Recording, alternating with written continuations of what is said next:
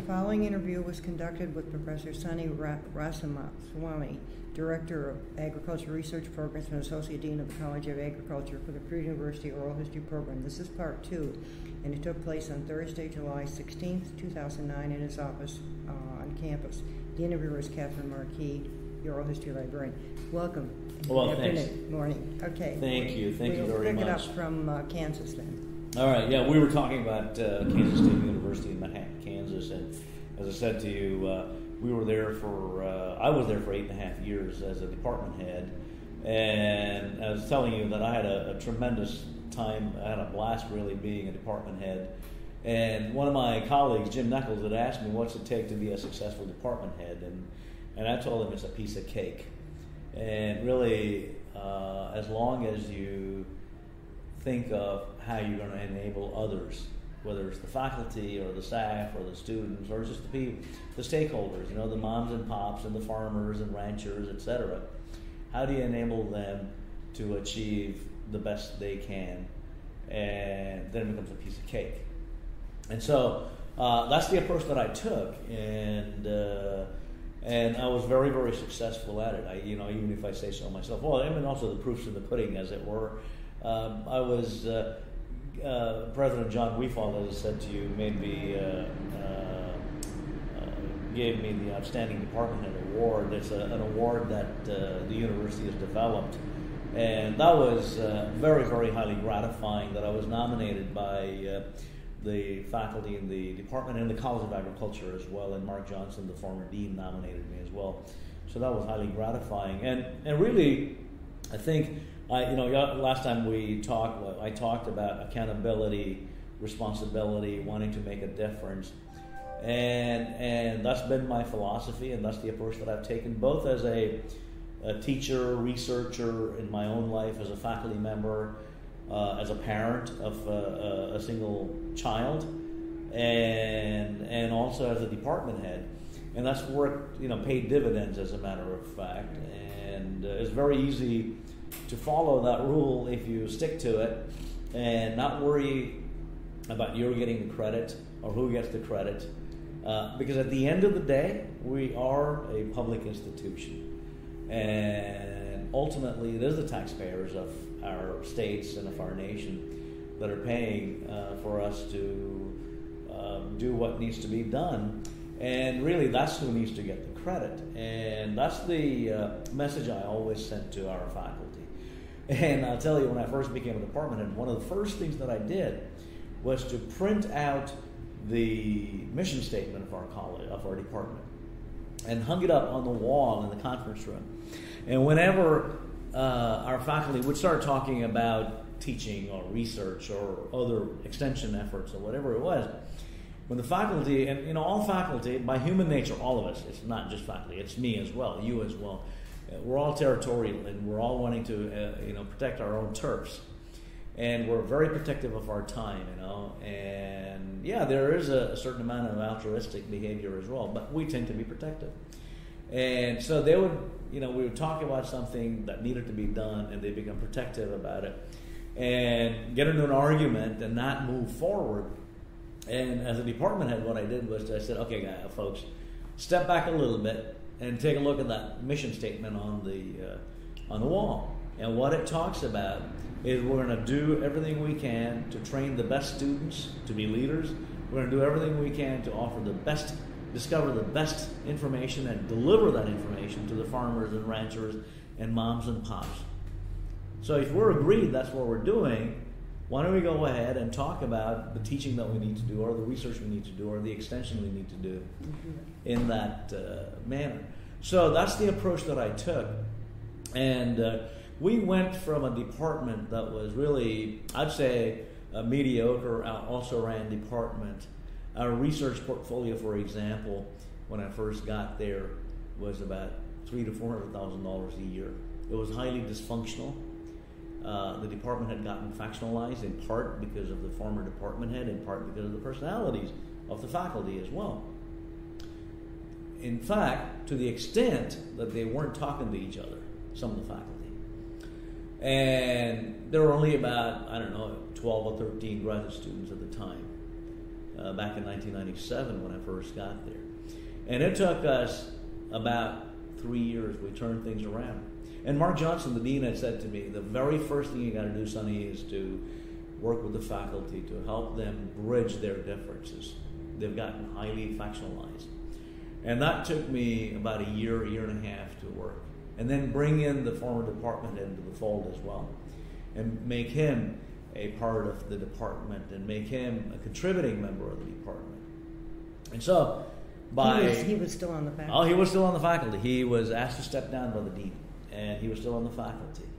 And by 1999, 2000, we turned things around, and to the extent that uh, you know we had uh, about 50 graduate students in the department, and our grants portfolio uh, went up to well over uh, two and a half million dollars a year, and everybody was a player. The expectation that I articulated was that everybody needed to be a player. Everybody needed to be contributing. Everybody needed to. And what I did was, again, I said I used the carrot policy, as it were, not the carrot and stick policy, just the carrot policy, and got even underperforming faculty to step up. The other thing that happened too was Kansas City University is the first major institution in America that has, as part of its policies, post tenure review. Okay? That is, even though you're a tenured professor, you can't kind of sit and say, okay, I'm tenured, I don't need to do anything. That on your annual evaluations as a faculty member, you're evaluated based on criteria that uh, it was a sort of a, a fortuitous coming together. My arriving there and the university, uh, the former provost, Jim Coffman, and the university coming to grips with this. Because the taxpayers are tired of this lack of accountability, as you know. And it was a coming to grips saying, you know, before the taxpayers, i.e., the legislature, forces us to do things like they did in Minnesota, Kansas State University said, we're going to do it. We're going to set in place a way for us to be held accountable. And that was post tenure review. And so I got there at the same time, and I was very much interested in that. You know, accountability is very important to me. Sure. Right. And so I worked with our faculty to develop the protocols and the policies and procedures and the standards that was developed during that same period of time and set in place. And so suddenly we used that approach to help bring underperforming faculty up to par and because all the raises were tied into it, all the expectations were tied into that. And they needed to have a grants portfolio, they needed to be teaching, they needed to be involved in extension and outreach, they needed to be involved in discovery and research, uh, they needed to be uh, involved in teaching and learning. Okay? And no questions asked. You might have, a, you know, in colleges of agriculture, we have research, extension, teaching splits. Some people think it's set in stone. And I said, that's for the bean counters to worry about, where the dollars come from. At the end of the day, uh, my, oh, my all time favorite statement there's a guy named Dan Koshland, who was the publisher of Science magazine. And in 1987, in an editorial, he had said, People have problems, institutions have departments. And it's my all time favorite saying. And it's seared in my brain, and I would point that out to our faculty. You know, the average person on the street doesn't care if you have a research appointment or a teaching appointment or an extension appointment. They half of them don't even know that that exists. Exactly. They care about their problems. And you and I have been given this incredible privilege to serve as faculty. And so we ought not to be worried about uh, my appointment is 60% research, 40% teaching, and his appointment is 70% extension, 30% research, etc. Okay? We're all in it for the same purpose. And, and we did that, we turned things around, and I mean, we did tremendous things. And in fact, I think that was part of the reason why I got that uh, uh, nominated by the, the dean for the award for the uh, the uh, outstanding department head award. And along the way, and, and, and I love to have fun. It's very important to have fun. And of course, bugs, you know, as an entomologist, bugs allow you to have that fun, and you can still be a little kid. uh, I'd go around, did a lot of work, and I encouraged our faculty, expected, not encouraged, expected our faculty to be involved in outreach. Not from an extension perspective, but outreach to the community, to the schools, etc. And so we went and did things in the communities. Uh, and so I did everything by example. I had an excellent research program, so I could, if I went and talked to a faculty member, hey, you need to write an NSF, a National Science Foundation grant proposal. I'd been there, done that. I was doing it. I'd been rejected by them. And there's tears in it and, and angst in it, but you go over it and you write the proposal even better. Come up with a better way of articulating your ideas. And if I talked about to faculty about teaching, I'd been there, done that. I'd taught classes as a department head, although I was not expected to do so. I had the largest research program at, at uh, Kansas State University as a department head.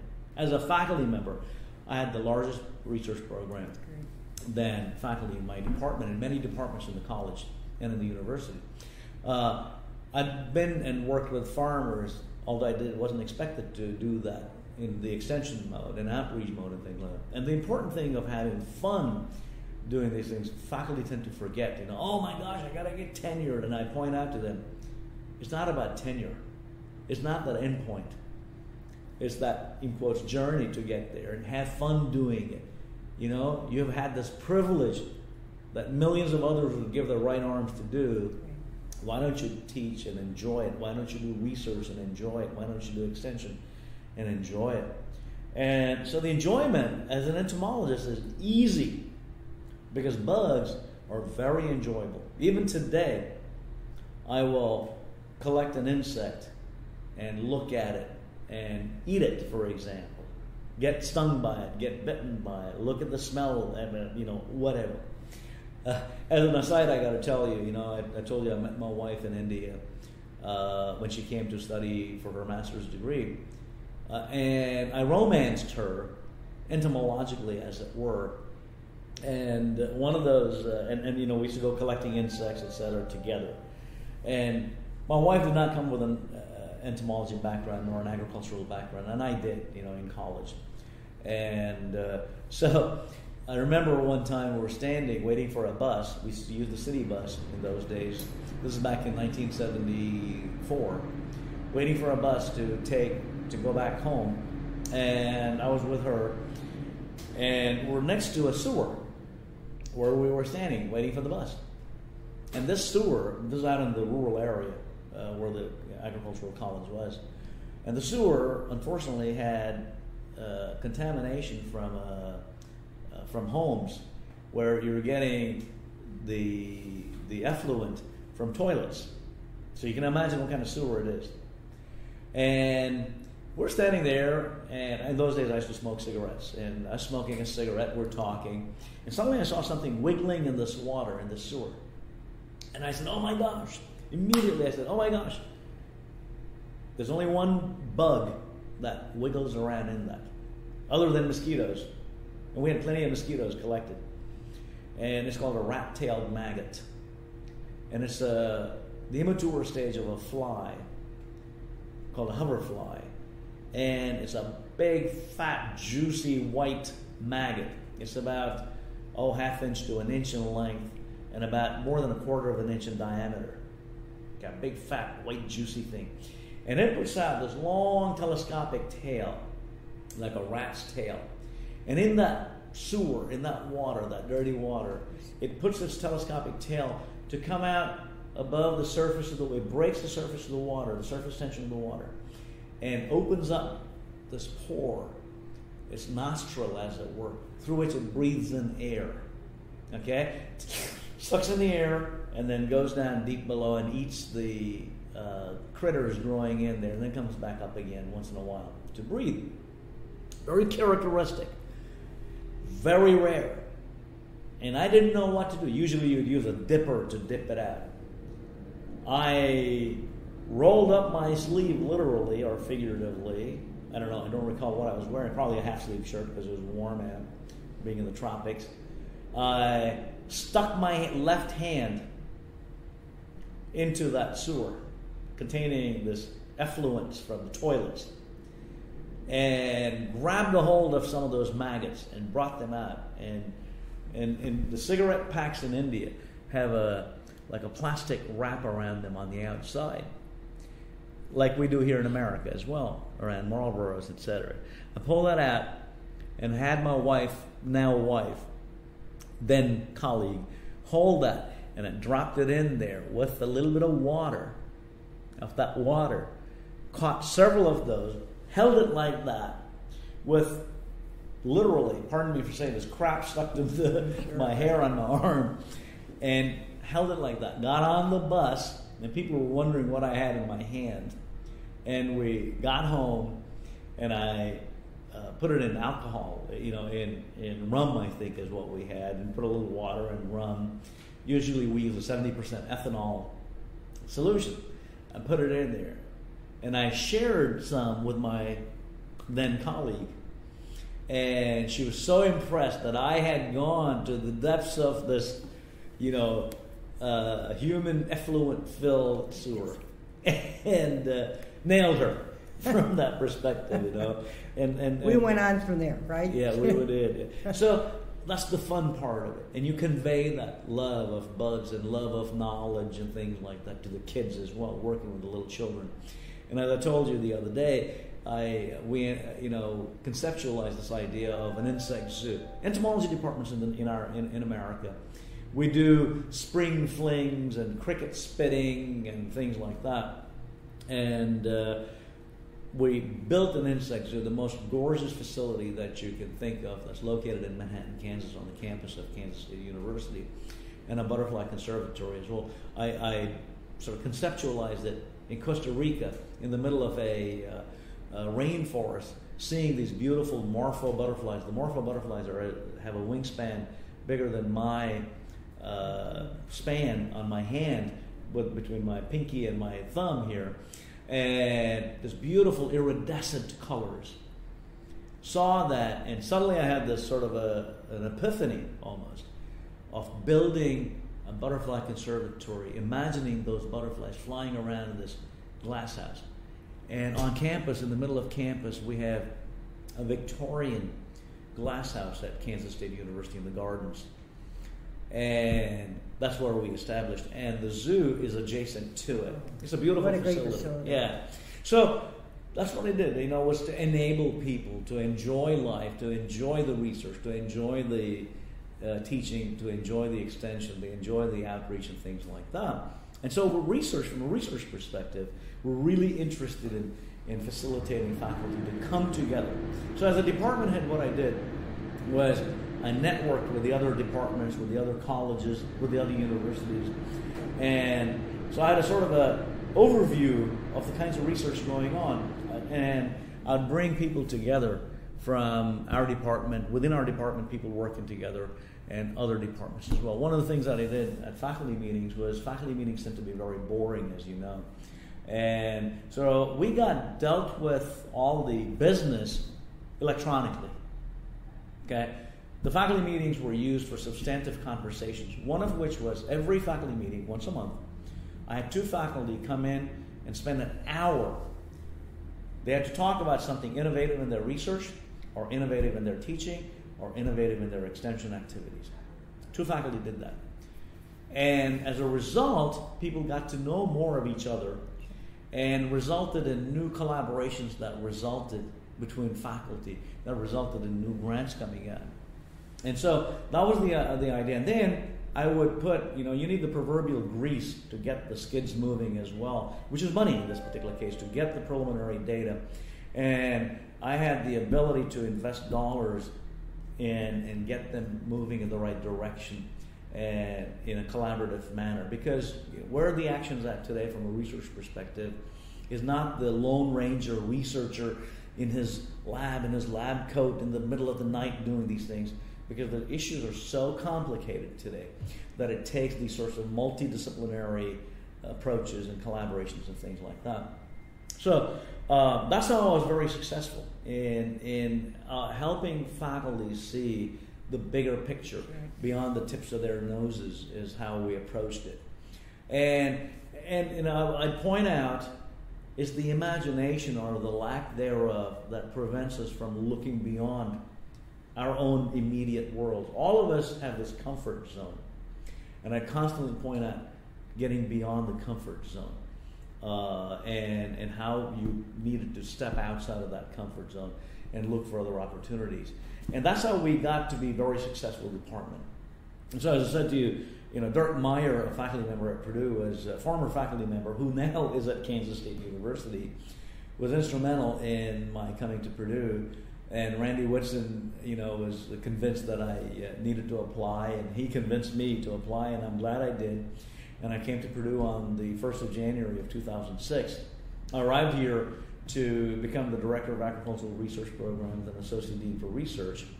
Was it a cold? Was it a cold January day when you came? No, it was a gorgeous sunny day. Uh, I drove from uh, Manhattan, Kansas to West Lafayette, Indiana. My wife um, uh, had become a department head of her department at K State, and she had some commitments and she wanted to stay put. Plus, we had a house that we needed to sell. And I started on the 1st of January. Came here and I stayed at an apartment. And well, as an aside, another little personal tidbit. I stayed in this house on Northwestern Avenue. Uh, Sue Robinson is the uh, woman's name that owns the house. I lived in the back part. She had a little apartment like thing, a little kitchenette, and a bedroom. And I stayed there, and she had one of these Castro convertibles. It's an old iron sofa come bed Heavy as heck. heavy as heck. Right. It was in the middle of the room, and I brought my my bed mattress, uh, uh, like a full size mattress and, and box spring, and my clothes, and a few boxes of my odds and ends and some kitchen stuff. Steve Yaninek, the head of entomology, helped me unload and move it in. Well, we set the mattress, and that sofa was in the middle of the room, and I needed to move it to the side of the room. And Not I thought, job. well, I've forgotten that I'm on this side of 50 now. I was at that time. And, and I started moving things around. And I did, put my mattress down, everything was hunky dory. And I guess I must have done some damage because a couple of weeks later I collapsed uh, as I was going out to the sidewalk to put my garbage, my little bag of garbage, uh, I coming back, and I just collapsed literally. And I literally crawled into my apartment. And oh, by the way, I had my laptop computer and my uh, that I was going to put in the truck in my pickup truck because I was going to be going out to southern Indiana to meet some farmers. To and then I'm going to drive up to Indianapolis and fly back to Kansas to see my wife and you know spend a couple of days for the weekend there. Early morning, six o'clock. My laptop was there on the sidewalk, and I crawled in, and I was laying in bed and started laughing because I was in pain. I was in intense pain in my lower back, mm. and I couldn't move. I literally crawled in and crawled up to my bed, and in the pain, I said, "I don't have a phone because I'd forgotten I left my cell phone on my desk in my office." And this is about six fifteen in the morning, and I was hoping my landlady Sue was going to be there. I didn't have any way of contacting anybody. Not my wife, not Nancy Aldrich, my then secretary. And then about 7.15, 7.30, I and I'm in pain. I'm, I got tears in my eyes from the pain. And I hear some noises in the house where Sue lives. And I started banging on the wall, and Sue came finally, and she was shocked to see me in writhing in pain in, in bed. She asked me what happened. I said, I, I, I don't know what I did, but I messed up my back and I need some help. And if you could please call Nancy at this number. So Nancy comes into work at 7.30 itself, luckily. And Sue was able to call Nancy. Nancy came over there and she said, okay, come, let's go to the doctor. And I, she said, why don't you get up and use me as support and we'll walk to the car and I'll drive you. I could not bear my own weight and I collapsed again. And of course, you know, Nancy and Sue, Sue was older and they couldn't, you know, pick me up and mm-hmm. carry me out. So they called 911. An ambulance came and the stretcher, I got on the stretcher and taken out. And in that pain, they're going down the steps, and I'm telling those guys, "Hey guys, you got better be careful." And I remembered this joke, this entomological joke, and I started laughing in my pain. And the two guys carrying me to the ambulance were wondering what I was laughing about, and I had to share with them the joke. And as an aside, the joke is that uh, true story, as a matter of fact, that in New Orleans, this gentleman came home from work, and uh, earlier that day, the wife had seen a cockroach, and apparently she stomped on it, and then she brought a can of whole can of Raid and sprayed on it. Then she picked up that with a paper or toweling or whatever, threw it inside the in the uh, toilet, emptied another can of Raid, closed the toilet seat, and went away. The husband comes home allegedly, and he goes and sits on the potty and lights up a cigarette, and he throws the the uh, cigarette butt or match or whatever it is in the toilet, and of course the fumes of the Raid that have the aerosol in it, propellant in it, explodes, and the toilet bowl allegedly explodes, and he's got you know damage to his rear end. So the wife calls 911, and the ambulance comes, and the stretcher is taking him. To add insult to injury, they wanted to know what happened, and the wife explains one of the guys starts laughing so hard they drop the poor guy apparently. and so I shared this joke with these guys as well. And Nancy is wondering what's going on. You know, but in any case, went to the emergency room. They gave me some shots. Long story short, later on I discovered that I had herniated three of my lumbar discs really badly. Had prolapsed, as a matter of fact. Luckily, as it turned out, and my wife came from Kansas, picked me up, drove me back to Manhattan I was bedridden for a whole month, and I was doing business with uh, IP video on my laptop computer. I continued to do my business, except I was stretched out on my back. Did they? You didn't have surgery or anything? No, I, I didn't. I did not have. I did not want to have surgery, okay. and with injections and and physiotherapy, and I still do it. This is almost you know four years later. I still do my stretches every day religiously, and you know uh, I've not had touch wood. I've not had any uh, issues, so got over it. So that's that was my start at Purdue University, and I was uh, uh MIA, as they say, in uh, when I first started. Well, for the after I came back from uh, Kansas after a month, and I was hobbling around, and I couldn't wear shoes, and I'd be wearing a suit and no shoes or one shoe because my left foot I couldn't. You know, the sciatica was really bad, and I had had neuropathy as well on the tips of my toes and, and my foot, etc. Couldn't wear shoes. Shoe. And we had a, a, big session in April of 2006 at uh, um, at the Martell uh, Forestry Center, and there's a huge audience of some very important people and I get up to do a little spiel as the director of the uh, ag research programs, and wearing a full suit and no shoes. Everybody that knew me knew that I was having problems, therefore I wasn't wearing a shoe. And in fact, the fellow that introduced me, our new director, has had this problem, so he doesn't wear shoes, etc. Well, wouldn't you know it? Somebody in the audience, one of the faculty members, apparently did not take too kindly to it sent an email to Randy Woodson saying that it was unprofessional of me. I was not representing Purdue University very well by having this cavalier attitude about not wearing shoes. And apparently, he had missed somehow the story about my back problems that had contributed to this issue. Well, again, these are little things that happen to you, and, and people got to remember that there are reasons why people do certain things, you know, and not jump to conclusions, right? And so, in front, uh, so my responsibility really is to at, at, Purdue has been to facilitate research. And what I've done really is, as I said to you, what I did at K State was to focus on bringing people together. And we've done a tremendous number of things at Purdue University in our College of Agriculture. And we're equal opportunity. We work with every college. And again, I've done the same things. I put the proverbial grease on the skids to get the uh, the the faculty to get together to work together.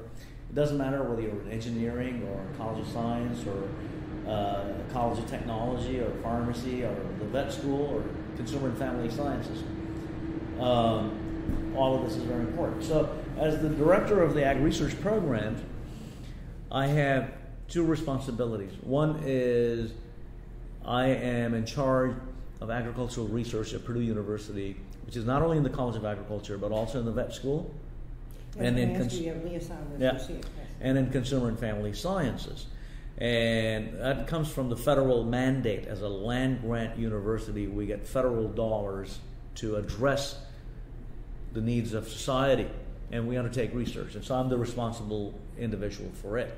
And so we facilitate research in these three colleges.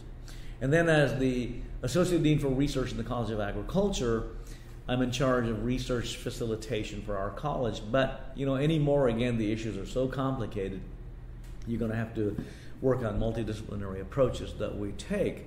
And uh, we, that's what we do in our college, is help our faculty become more competitive for grants and contracts to address it's not the money in and of itself but what the money allows our faculty to do which is to address these fundamental questions that need to be addressed whether it's in the environmental issues climate change global warming bioenergy feeding the poor uh, environmental issues water issues land use issues using nanotechnology to address these issues using biotechnology to address these issues et cetera et cetera et cetera and our portfolio has really increased tremendously in our college, in our university, at Purdue University as well. And one of the things that uh, that I've done personally from our office, I've got people that I've hired. Carl Hudeman's one of the fellows that I've hired, a tremendous fellow that we've hired, is to create what I call as intellectual communities. That is, you want to bring together a community of individuals with the intellectual capacity to address these societal challenges we face, these global challenges we face. These global challenges are in the, the realm of health, in the realm of our ecological footprint, in the realm of agricultural competitiveness, in the realm of what I call as the bioeconomy, finding substitutes for petroleum. These are challenges we face. And what we do is, and so we want to bring the best brains. They might be in our college, they might be in the other colleges. They might be at other universities. They might be in the non-governmental realm. They might be in the corporate realm. And we bring these. We we act as a convener. That's the approach that I've taken. Is to we want to be the convener of bringing people together, and then we want to be the broker as well. We're going to put money on the table for you, for you to work with other colleagues. Okay, so we broker these relationships. We convene as well. We offer a platform. So people have asked me, so what's it take to have intellectual communities? And I say it takes three things to bring this to fruition. The first one, for faculty members, they have to have intellectual stimulation. If there is no intellectual stimulation, they're not interested. What about curiosity? That is, that's it. Intellectual stimulation. Subtending it is the curiosity. Mm-hmm. Okay? Two, money or the prospect of money. And three, food. Okay. What do we do? We put out a call. There might be a particular opportunity. We put out a call to the entire, depending on who it is, what area it is. It might be just within our college, just within a department, just an individual, or it might be multiple colleges, or it might be multiple other universities as well. We'll put a call out and we bring in people from outside via IP video, uh, internet protocol video on the computer. Or, and we offer a room, we bring them together, and I use my foundation credit card. Sherry, my administrative assistant, orders food because faculty are very busy people, and we found that lunchtime approximately is a good time to get them together.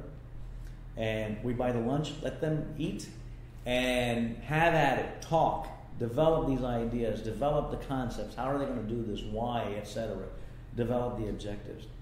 And that's the approach we've taken, and we've been very successful in helping address, get additional new grants and addressing some of these societal challenges we faced. I'll give you a couple of examples. One of them is, you know, we're converting uh, corn into ethanol. And as you make ethanol from corn, one of the co-products or the byproducts of it is called the distiller's grain. And that's starting to pile up in our nation. And we got started getting phone calls from around the state saying, "Hey, what are we going to do? Are we going to bury it, burn it, build a mountain of What it? to do with it? What do we do with it?" Yeah. And we put a call out to our faculty. And about 45 faculty came together. And there's a self selection process. And we said, this is not of academic interest, this is people's livelihoods. You have nine months as a rapid response to come up with a response on what we're going to do. So, agricultural economists, uh, agronomists, animal scientists, agricultural engineers all got together, came up with experiments to do, how to develop it, how to deliver the information once the knowledge has been developed. Okay. I put money on the table. My extension counterpart put money, we talked them into putting money on the table. All the department heads put $50,000 each. Got the Indiana State Department of Agriculture to put money. We collected $800,000 in two days and deployed the intellectual capacity of these individuals to come up with answers. And then the expectation was they're going to offer workshops and other means of communicating this information. On the website, we have a website, you can check it out, that this information was developed. Another area of endeavor that we very recently might have read in the uh, in Purdue Today or in the newspaper, et cetera, was successfully the first $20 million grant that Purdue University has gotten. Uh, uh, this was the U.S. Department of Energy called for grants called the Energy Frontiers Research Centers opportunity. And we brought together, convened these individuals from the College of Agriculture, Science, and Engineering, and Argonne National Labs in Chicago, and the National Renewable Energy Laboratory in, in Colorado, and the University of Tennessee folks together, and wrote this successful grant proposal. Our faculty wrote it. We didn't write it. I mean, we just gave them a platform to come together and talk to each other. We, our role as the director of ag research programs, the way I've seen it, is to eliminate any obstacles that faculty might face. Okay? If a faculty member says, you know what, I want to be able to do this, but uh, we're talking about IRB approvals, institutional review board approvals. Uh, the folks that are in charge of compliance are telling me I can't do it, I need six months to do it. I will personally make phone calls to people like Peter Dunn or others asking, hey, why is it this way? Might be a faculty member that needs a 220 volts outlet to plug in a particular piece of equipment, and they're stuck. And I'll call facilities, or Steve Hawkins in my office will call facilities, or I will personally call them. And so it's all relationships and networking. One of the first things that I did for the first one month after coming to Purdue was had Nancy Alders, then my then administrative assistant, have me meet with the vice president for facilities, the police chief, the uh, REM people, the radiation and environmental management people, and and Carol Shelby, uh, and others of relevance to our faculty. So they know who I am, and I know who they are. If I need to, I can make a phone call. If I need to, I And can. you know exactly what their responsibilities Exactly. how they can. Uh, Exactly. That's the approach that I took was because all of these things are based on relationships. If I called Carol Shelby, if I called Bob McMains, the vice president for facilities, or if I called Pete Dunn, the associate vice president for research, uh, or Jim Mullins, your boss, or Scott Brandt in the library, they know who I am, and and they say, "Of course, we can help you." And that's one thing about Purdue University is fantastic, is people are willing to help enable to achieve great things. And Martin Jischke, man, what a great guy. And and in, in many ways, he's my administrative uh, role model and hero, I think.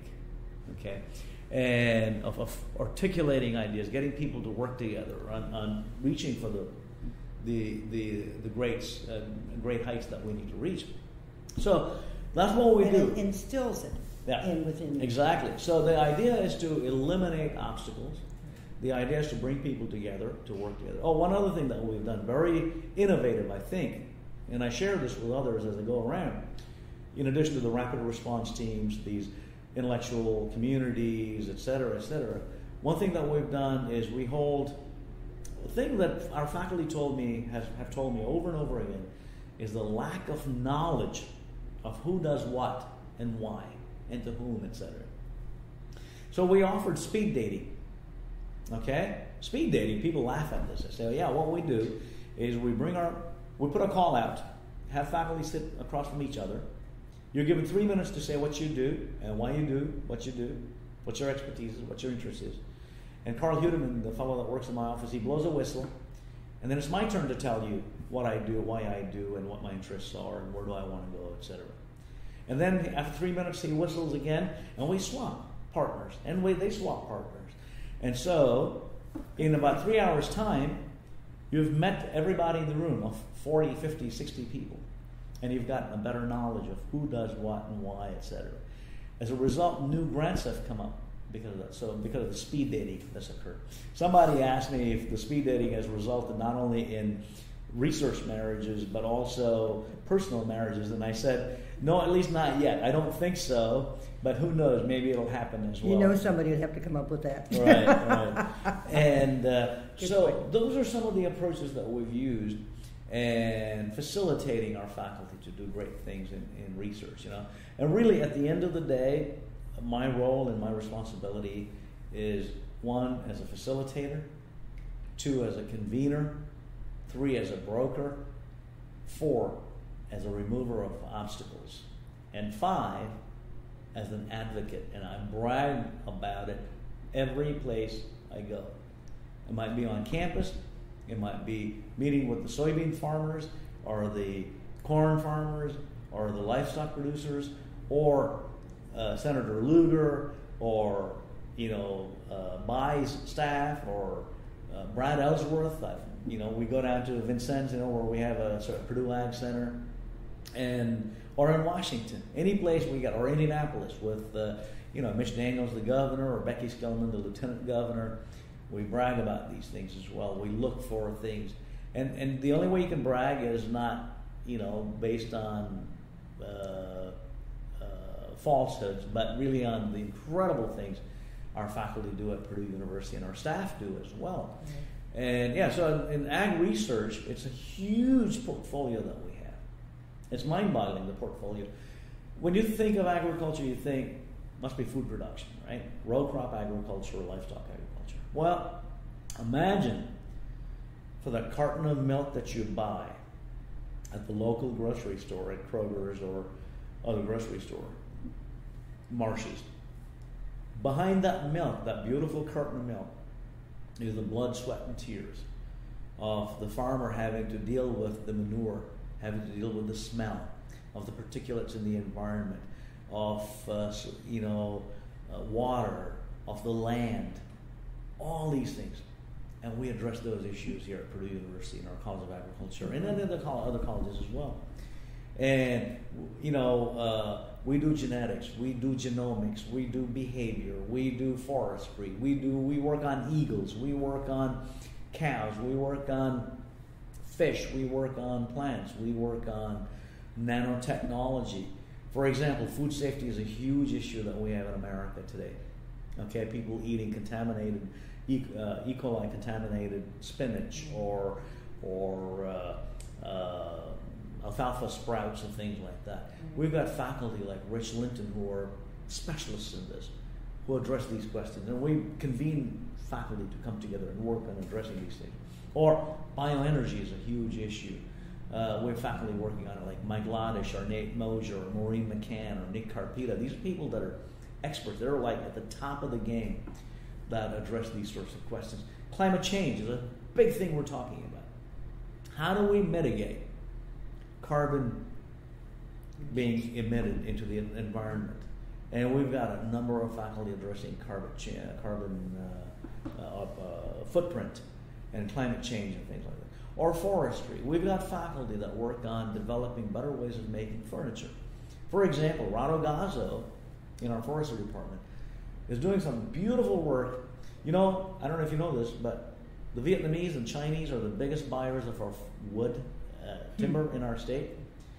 So what Rado has done is to figure out how to keep the high-end black walnut and cherry and red cherry and things like that here for our wonderful furniture industry in southern Indiana, so we can give a leg up and employ people and things like that on the very high-end furniture. So you're looking at a desk, a cheap desk you can buy from Vietnam, made in Vietnam or China, for under a thousand dollars. A high-end desk with the most beautiful wood that's placed in the president, you know, in the White House or other corporate offices in America. These things cost ten thousand, fifteen thousand dollars, and the research done by Rado Gazo and and his wife Eva uh, Haviarova has contributed to this thing. Purdue, we also do genetics and breeding of plants and trees. The black Purdue black walnut tree is tremendous. It grows straight as an arrow. Beautiful wood that uh, our Hardwood Tree Improvement Research Center uh, does research on. So that's the sort of the portfolio that we have. We have people working on water, you know, and water. We're going to see more wars about water as we go forward than we will have seen on petroleum, because water is a seriously diminishing commodity for us with the increase in population, things like that. So as we go forward, what we have to be worried about is how are we going to feed the 9 billion people. Today we have 6 billion people. By the year 2050, we're going to have 9 billion people. How are we going to feed them? How are we going to clothe them? How are we going to allow them to drive around, etc.? Agriculture, the renewable commodities of agriculture are at the core of addressing these needs. So that's what we're doing research on. Very good. And you uh, and you realize the value when you see the results that Oh, you yeah. can. It is. It's highly gratifying Right. to see that that you can indeed make a difference in people's lives. One thing I was going to ask you here, the extension is separate, and I noticed in your new position you will be in charge of the uh, extension services as well. Is that true with what uh, the dean here is, handles that? So Right. Even though So- you have a head of extension, that Right. The, the Dean of the College of Agriculture supervises myself as the Director of Agricultural Research Programs, as well as Chuck Hibberd, who is my Extension counterpart, who's the Director of Extension. And at Purdue, what we, in fact, I go around as well as Chuck goes around saying, you will not see any daylight between research and extension at Purdue University. We're like the yin and yang of Purdue agriculture. We're completely seamlessly interconnected. Because, as I said early on, you know, it's a continuum between the research and the delivery of that. In fact, France Córdova, our president's new strategic plan, talks about discovery with delivery. And where she came up with that concept really was looking at the model we have in agriculture, which is the seamlessness in the research enterprise and the extension enterprise as one seamless continuum. And, and that's the way it is. And even my new position as the Dean of College of Agricultural Sciences at Oregon State University, I'm going to be overseeing that. And again, it's, it's that sort of a, an expectation that I present. You, although I, I'm the keeper of research, I always talk about this continuum of undertaking this, this discovery to generate new knowledge and then delivering it to the end users. You cannot forget that. You cannot stand in a vacuum. Going back to, as I said the other day, Donald Stokes' book, Pasteur's Quadrant, it talks about that. Is you generate the knowledge and you use it, put it to use, and deliver it to the end users. And that's the way we do it. Yeah, agriculture has been doing it actually for Let's a very long focus time. on the, the land grant. That's in the land grant act. Absolutely. That's exactly it. So it goes all the way back, Yeah. and and that's what what's been Exactly. done. Right, Exactly. Yeah. Um, you talked about a couple of your awards. One thing I was going to ask you about the distinguished graduate alum, alumnus from uh, Cook College. Yeah, yeah. So I'm a graduate of Rutgers University, as I said the other Right, day, yeah. and Cook College is the agricultural college out there. That's very nice. And uh, they had a, a, you know, they do once a year. They select distinguished alumni, and I was the graduate school's alumnus as well. And so, uh, oh, it was a very gratifying event. This was about oh gosh, five six years ago. I think they did it. I forget exactly when it happened. Uh-huh. And my daughter came. My wife was traveling in Portugal at that time, I believe, and so she wasn't able to attend it. I went to New Brunswick, New Jersey, uh, for the ceremony. Oh, all the pomp and circumstance uh, that universities, you know, confer on you. And uh, And my daughter, who used to live in New York City at that time, she took a train and came in and, and met up with me. It was always fantastic, very gratifying. Again, you know, alumni awards are given to people. I wish they give it to everybody, you know, because everybody's done great things.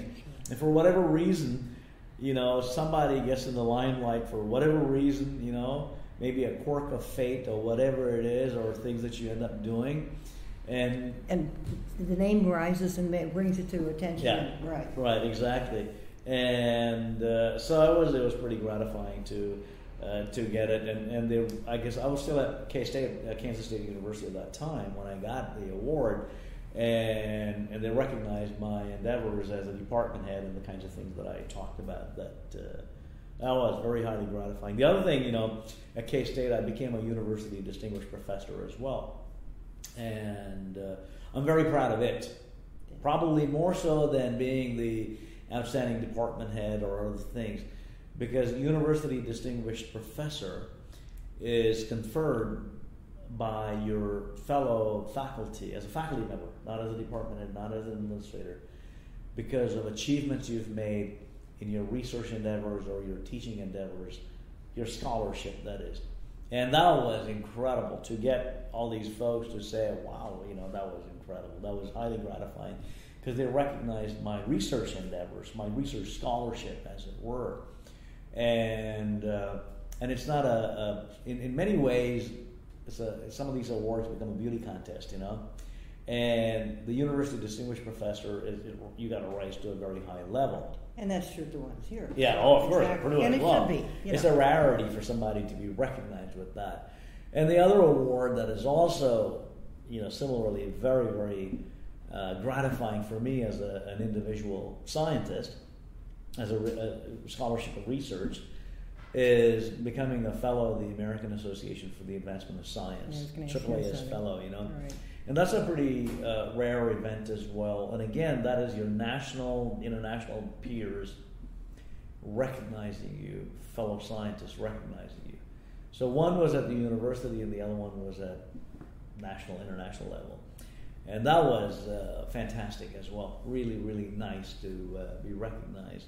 And it humbles you, you know. I mean, these things, they humble you, saying, wow, that's pretty amazing that there are others that think you know, you you oftentimes end up in that, that little individual, you know, plugging away at something, and it's gratifying that there's somebody outside that says, "That's pretty cool stuff that you're doing." You know, we recognize you for it. And so, we want to we want to take care of you from that standpoint. yeah, yeah, that was, uh, Yeah.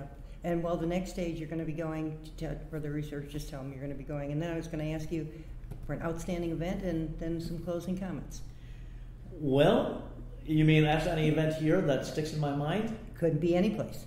Yeah, well, I think really.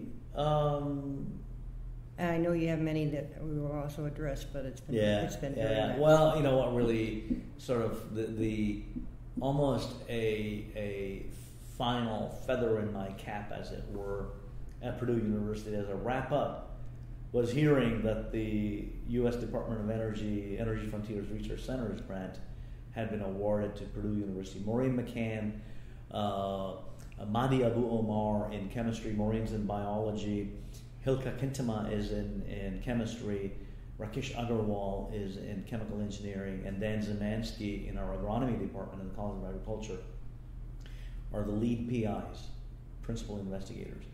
But along with them, there's like a bunch of other faculty in agronomy, in biochemistry, in botany and plant pathology in our college, and in biology and chemistry, and uh, in, in science, and chemical engineering, and materials engineering, in engineering, that all got together along with the Argonne National Labs in Chicago and the National Renewable Energy Labs in Colorado and the University of Tennessee folks getting together, writing that proposal. We facilitated it from my office. Carl Hudeman really needs to be given the kudos. So in the newspaper, you know, of course, as should should be, they need to focus on Maureen McCann and, and Rakesh Agrawal and others and talk to them. But you know, in the background are a whole bunch of people that facilitate these things, bring this to fruition. And it's the Carl Hudemans of this world that help do that. And you know they do it. Carl does this, no questions asked. He enjoys it, and to see that happen. Uh, the first time that's happened at Purdue University, the first big energy, bioenergy grant that we've got, the biggest actually, thus far.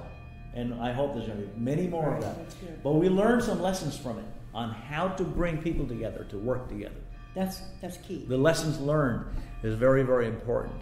And, and sort of the dissection, the, the Monday morning quarterbacking that you need to be doing, thinking about, well, what do we do right? What do we do wrong? What are the next steps, etc.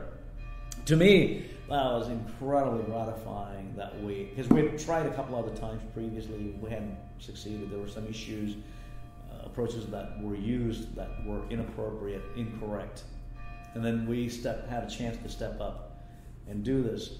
And to me, that really uh, sort of uh, puts the uh, uh, the final exclamation mark on my stay here at Purdue University that we did it, and uh, and I've had a small part in that to bring the people together and help them see. And again, we use the same thing. That is, hey, look beyond yourself. You know, look for the opportunities. And so that's a, a wonderful thing to go out on. And and the other thing is really getting you know people to work together. And uh, As you step back and you realize that Yeah. that's occurred. that is that is it. That is probably the biggest contribution that I probably made is to help people collaborate more and work together more and look beyond themselves. I'm still frustrated that I can't get more people to be thinking along those lines. There always But- has to be some. But this has been done. accomplishments Yeah, have been made. exactly. And as I go forward, you know, I'm in Oregon State University. Uh, the sky's the limit. I'm going to be the boss, and uh, so I have a lot of challenges out there. They're expecting me to raise a lot of money for doing a lot of wonderful things. The College of Agricultural Sciences is wonderful at Oregon State as well. Very much like our Purdue Ag, you know, very very competitive. And the nice thing there is that it's not just row crop agriculture and fruit and tree production, etc. But fisheries and wildlife is part of the College of Agriculture as well. And the Marine Mammal Institute, the Hatfield Marine Mammal Institute in Newport, Oregon, is part of it too. So I've been to all the farms that I wanted to cotton farms and corn farms and soybean farms and livestock production, production etc. But I'll get to go and chase whales in uh, in Oregon because we have faculty out there that work on whales and salmon and things like that, and I'm looking forward to it. Uh, uh, Oregon's a beautiful place. Uh, I'm a motorcyclist, as I said to you earlier. I have a Harley Davidson that I got. Planning on riding around, and I'll be on the road quite a bit. And uh, you know, as I've used the word having fun, and that's a very important part of who I am. Is I got to have fun, and I got to think of the possibilities. You know, so there's some tremendous possibilities at uh, Oregon State. I'll continue to work with Purdue University because you know this is part of uh, my legacy here uh, is to work with faculty and uh, uh, and staff and students, etc. So this has been tremendous. What a what a what an opportunity that I was given, and getting to meet the likes of Martin Jischke. Oh man, tremendous. So it's been great. Good. Thank you very much. This concludes the end. I really appreciate that. It was very Yeah, good. thank you. And